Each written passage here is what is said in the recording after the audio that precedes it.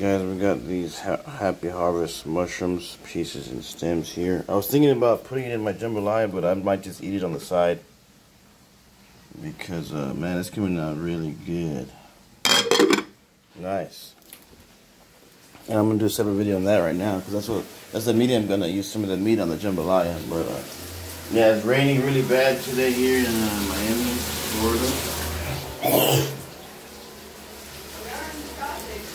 And I'm gonna uh, uh, put the drain this one out real quick.